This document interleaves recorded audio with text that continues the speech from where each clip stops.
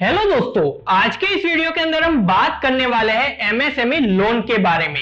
क्योंकि आप में से काफ़ी सारे लोगों की हमें कमेंट देखने को मिलती है कि, सर, हमें हमारे एमएसएमई बिज़नेस के लिए लोन चाहिए, पर हमें पता ही नहीं है कि किस तरह हम उसके लिए अप्लाई करें। तो आप हमें कुछ ऐसा तरीका बताओ जिसकी मदद से हमें कोई भी बैंक या फिर कोई भी फाइनेंशियल इंस्टीट्यूट हमारे एमएसएमई बिज़नेस के लिए लोन दे सके।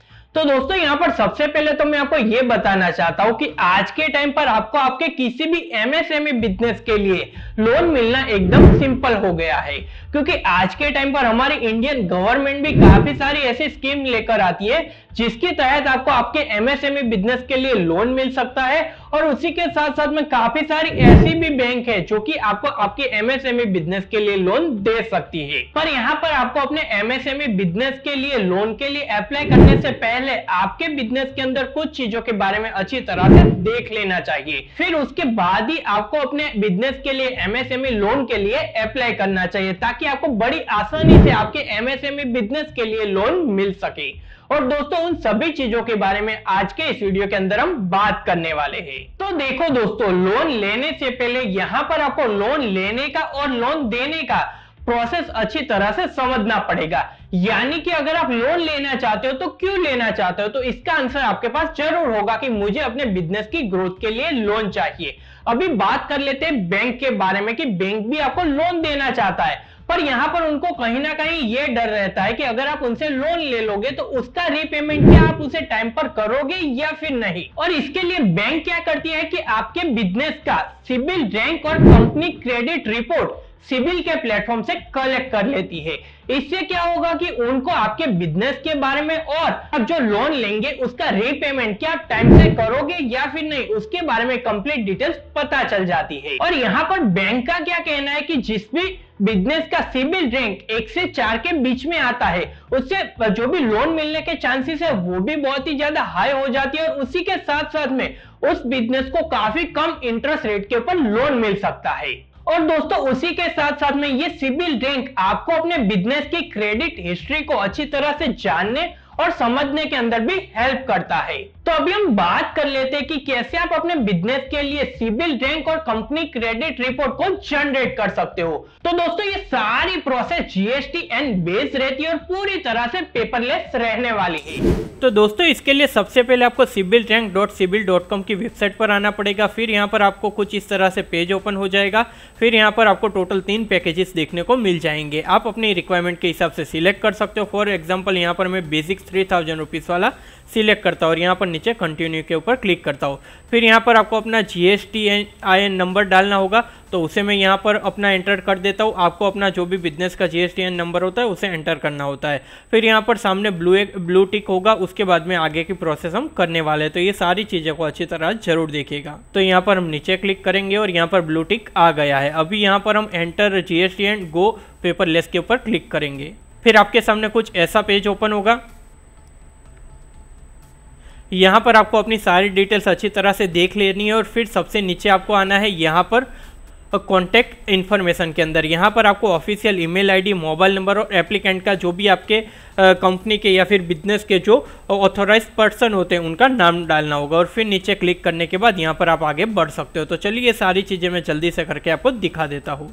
ये सारी डिटेल्स फिल करने के बाद नीचे आपको सबमिट एंड कंटिन्यू के ऊपर क्लिक करना रहेगा। फिर दोस्तों यहाँ पर आपको एक्सेप्ट करना रहेगा। फिर आपके सामने कुछ ऐसा पेज ओपन हो। फिर यहाँ पर आपको क्या करना है कि आपके जीएसटी पोर्टल का जो भी यूज़र नेम होता है, उसे यहाँ पर एंटर करना होगा। इससे क्या होगा कि आपकी रजिस्टर्ड ईमेल आईडी और मोबाइल नंबर पर एक ओटीपी आएगा, जिसको यहाँ पर आपको वेरीफाई करना होगा। तो चलिए जल्दी से ये प्रोसेस में कर देता हूँ। दोस्तों यहाँ पर मैं आपके साथ एक बहुत ही इंपॉर्टेंट बात शेयर करना चाहता हूँ कि अगर आप जीएसटी पोर्टल का यूज़र नेम यहाँ पर सही डालते हो फिर भी यहाँ पर आपको इस तरह के एरर देखने को मिलता है तो इसमें दो चीज़ हो सकती है। सबसे पहले तो आपको आपका जीएसटी पोर्टल का यूज़र नेम चेक करना है। अगर आपको लगता है कि वो सही है तो सेकंड वाला ऑप्शन आपको ज़रूर देखना पड़ेगा कि एपीआई एक्सेस आपको देना पड़ेगा आपके जीएसटी पोर्टल के लिए। और उसके लिए आपको आप लर्न मोर के ऊपर क्लिक कर सकते हो और यहाँ पर उसकी पूरी प्रोसेस देख सकते हो कि सबसे पहले आपको लॉग करना होगा अपने जीएसटी पोर्टल के अंदर, फिर यहाँ पर आपको माई प्रोफ़ाइल के ऊपर क्लिक करना होगा मैनेज एपीआई एक्सेस के ऊपर क्लिक करना होगा और फिर यहाँ पर उसे एनेबल करना होगा और कंफर्म करना होगा। अगर ये प्रोसेस आप कंप्लीट कर देते हो तो यहाँ से आप बड़ी आसानी से जनरेट ओटीपी के ऊपर क्लिक कर सकते हो। तो इस चीज़ को आपको ज़रूर माइंड में रखना चाहिए कि अगर ये चीज़ एरर आती है तो इस चीज़ को आपको ज़रूर करना रहेगा। तो दोस्तों, यहाँ पर हमने ओटीपी वेरीफाई कर दिया है तो यहाँ पर हम कंटिन्यू करेंगे। आप भी जैसे ये स्टेप फॉलो करोगे तो आपको आपके ईमेल आईडी और मोबाइल नंबर पर एक ओटीपी आएगा, जिसे आपको वेरीफाई करना होगा। वेरीफाई हमारा ओ टी यहाँ पर हो गया अभी यहाँ पर हम कंटिन्यू करेंगे। फिर दोस्तों आपके सामने एक ऐसा पेमेंट के लिए पेज ओपन होगा तो यहाँ पर आपको इसका पेमेंट ऑनलाइन करना होगा। फिर आपको आपके ईमेल आईडी के ऊपर एक ओटीपी आएगा। यहाँ पर हमारा टोटल पेमेंट हो रहा है थ्री थाउज़ेंड रुपीज़ का तो चलिए जल्दी से इसे मैं ऑनलाइन कर देता हूँ। यहाँ पर आपको काफ़ी सारे ऑप्शन मिल जाता है। Cards net banking wallet EMI UPI scan and pay आपको जो भी सही लगता है, उसकी मदद से आप पेमेंट कर सकते हो। तो चलिए इसका पेमेंट जल्दी से मैं ऑनलाइन कर देता हूँ। तो दोस्तों, यहाँ पर हमने इसका पेमेंट कर दिया तो यहाँ पर आप देख सकते हो thank you for your payment का यहाँ पर मैसेज आ रहा है। अभी आगे की क्या प्रोसेस रहती है, वो मैं आपको समझा देता हूँ। यहाँ पर आपको किसी भी जगह पर क्लिक कर नहीं करना है, आपको सिर्फ़ वेट करना है। तो यहाँ पर हमारा पेमेंट हो गया। अभी यहाँ पर आप देख सकते हो कि congratulation your CIBIL rank and company credit report with GST report is ready यानी कि ये सारी चीज़ें रेडी हो गई है। अभी हमें हमारा ईमेल आईडी ओपन करना होगा और वहाँ पर एक छोटी सी प्रोसेस करनी होगी। तो चलिए, वो मैं आपको करके दिखा देता हूँ। तो दोस्तों, अभी हमें हमारे ईमेल आईडी के ऊपर एक ईमेल रिसीव हुआ है, जिसके अंदर हमें लॉगिन करना होगा। तो यहाँ पर हम लॉगिन नाव पर क्लिक करेंगे। फिर यहाँ पर हमें हमारा ईमेल आईडी देखने के लिए मिल जाएगा। यहाँ से हमें नेक्स्ट करना होगा। फिर दोस्तों, हमें हमारे ईमेल आईडी के ऊपर और एक ईमेल आएगा, जिसकी मदद से हमें पासवर्ड जनरेट करना है। तो चलिए उसके ऊपर क्लिक करके और वो ईमेल मैं आपको अच्छी तरह से दिखा देता हूँ। तो दोस्तों, यहाँ सेकंड वाला भी ईमेल हमारे पास आ गया है तो हमें वेरीफाई माई ईमेल आईडी के ऊपर क्लिक करना पड़ेगा। फिर यहाँ पर आपको सारी इन्फॉर्मेशन देखने के लिए मिल जाएगी। यहाँ पर आपको आपका पासवर्ड सेट करना है और यहाँ पर सेट पासवर्ड के ऊपर क्लिक करना है। तो चलिए जल्दी से मैं ये सेट कर लेता हूँ। तो यहाँ पर हमारा पासवर्ड सक्सेसफुली सेट हो गया। अभी इसकी मदद से यहाँ पर हमें लॉग करना रहेगा।